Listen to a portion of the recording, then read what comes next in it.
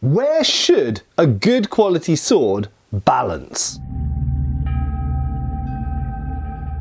Hi folks, Matt Easton here, Schola Gladiatoria. Now if you don't know me, I run historical fencing clubs, I do lots of research into swordsmanship and swords, and I'm an antique sword dealer as well.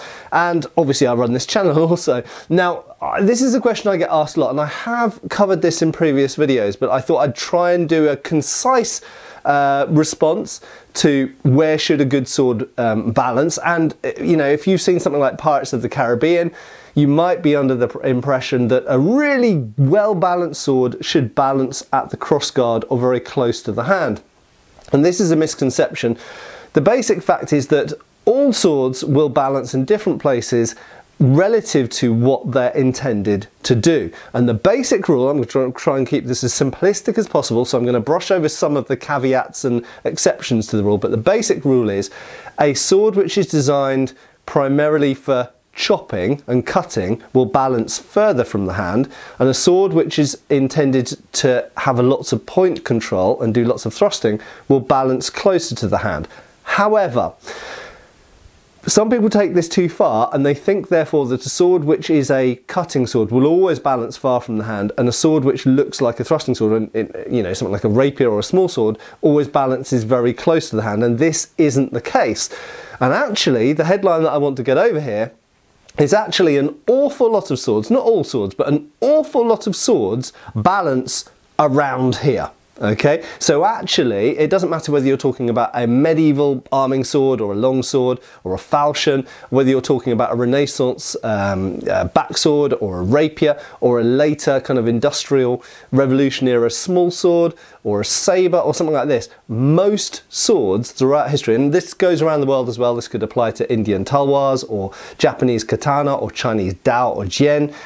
The majority of swords from ancient period all the way up to the modern day, because swords are still being made for parade purposes, but were certainly still being used in World War One and World War Two to some extent, balance around here. And the main reason for that is that if you make something of the characteristics of a sword, if you want it to be able to cut and thrust, or indeed just to do one or the other of those things, often what you'll end up with is a balance point around here. And if you put it too close to the hand, it will actually impede it being an effective weapon. Even in fact for thrusts, even if we balance it very close to the hand, you'll think, oh, well, that will make the point very, very nimble. But what it actually does is give you no feeling in the blade. Now, when you hold a lever that's like a long stick, or any kind of lever basically in your hand, you have a certain amount of feeling in the blade. And the closer you bring the point of balance to the hand, the less feeling you have in the blade, and the less therefore you can control the bind against an opponent's blade and this kind of thing. So uh, there, there are various physical advantages to having a point of balance around here. Now this is a replica, this is an Albion Lancaster. I don't own any, any original medieval swords unfortunately so I can't use those for illustrative purposes but because I'm an antique dealer, I do own lots of other antique swords from the Renaissance onwards. So what we're going to look at here is a, just a cross section of swords randomly that I've picked off my, my walls here. And we can apply this, I can assure you, we can apply this to lots of swords uh, like katana, wakizashi, uh, talwar, dao, other types of swords from around the world, African swords, Asian swords, and it, the same rules will apply. So although we're looking here at mostly European swords. Actually, two, two out of six of these are not European.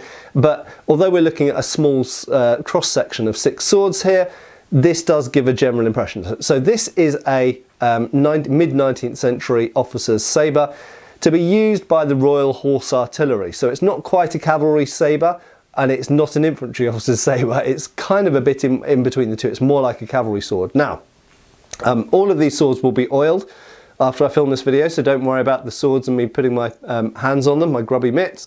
And you'll notice that balances about six inches from the guard. This is quite typical for a cavalry sabre, that's why I picked this one up. Some cavalry sabres balance further from the guard, some balance closer to the guard, but that's kind of fairly common. Um, now, a type of sword which was used in a similar fashion, a cut and thrust sword, from the same era. This is actually a Victorian Highland officer's basket hilted sword, but it's very similar to 18th century and in fact 17th century types of sword as well, and has similar characteristics. Now you'll notice this has a large full basket hilt. So clearly you've got more metal at the back of the sword, so you would think therefore that it might balance very, very close to the hilt, and in fact some basket hilt swords do. However, if we look for the balance point, it's about four inches from the guard. So even this, with a great big whopping great basket hilt, still balances about a hand's width away from the guard. Okay, now we'll go to a different sword, similar era. This is a 19th century Indian uh, version of a Persian sword. So it's like a Shamshir, but this is an, an, Indian version. It's a bit like a cross between a Shamshir and a Kilich actually, uh, but it's uh, Indo-Persian. Now this is interesting because this, I picked this specifically for this reason, balance is really quite far from the hand. That is about eight or nine inches from the guard. Now you'll notice this has a minimalistic hilt. It doesn't have a big handguard and this is really designed to give very fearsome chops.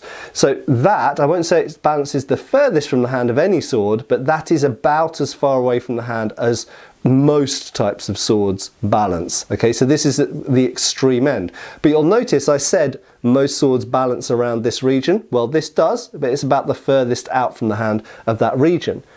Now, I pick another interesting sword here. This is a Kilich style blade on a, but it's short and small, and this is called a Parang Nabur, and this is from Indonesia primarily.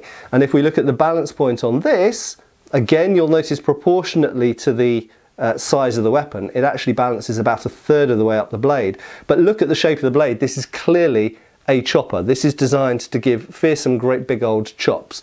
So um, absolutely, this type of blade therefore does balance further away from the hand. It's got a minimalistic hilt, not very much mass in the hilt so we can understand why. And you look at the blade type, it is designed as a chopper. Now, a couple to finish off, a couple that might surprise you. First up I have here an original uh, mid 17th century English rapier. Now I think a lot of people are under the impression that rapiers only thrust and that they balance very very close to the hand.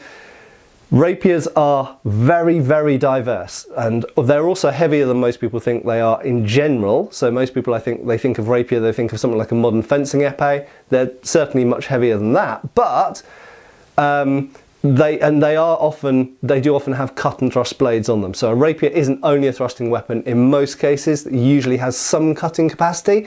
Some rapiers don't, uh, but the majority can cut and thrust. It's just they've sacrificed some of the cutting ability for enhanced reach and um, point control. So, so they are longer and narrower blades. So a lot of people would think this would balance right close to the hilt.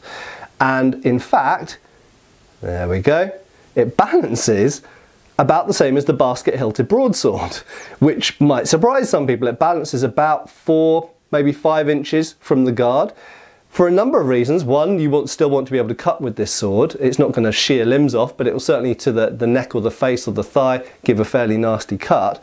And it's got the cross section for it. Um, but also it's to do with the feeling in the blade and the way that the, the um, sword moves and um, reacts against other blades. And actually, a small detail, this is actually a hollow pommel.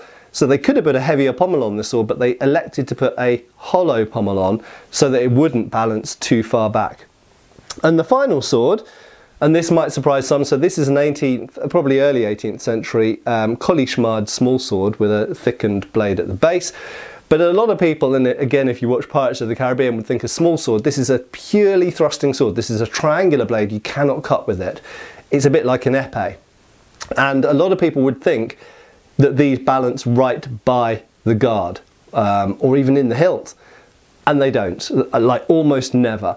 Um, and if we balance this, yes, it is closer to the hilt, but it's still about two inches, maybe two and a half inches um, from the guard.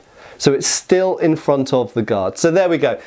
It doesn't, you know, there are exceptions. There are occasionally swords that balance very close to the hilt. I've actually seen, uh, there's a, number of medieval arming swords from the Castillon Hoard that balance quite close to the hilt and they look like big chunky choppy swords but they balance really close to the hilt which is quite unusual. They've got quite big heavy pommels on them.